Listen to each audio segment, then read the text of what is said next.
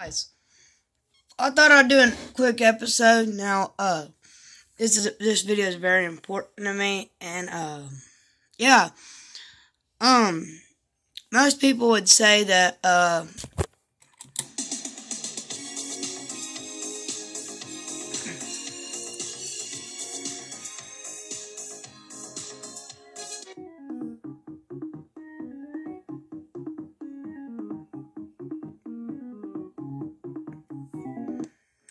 Got him!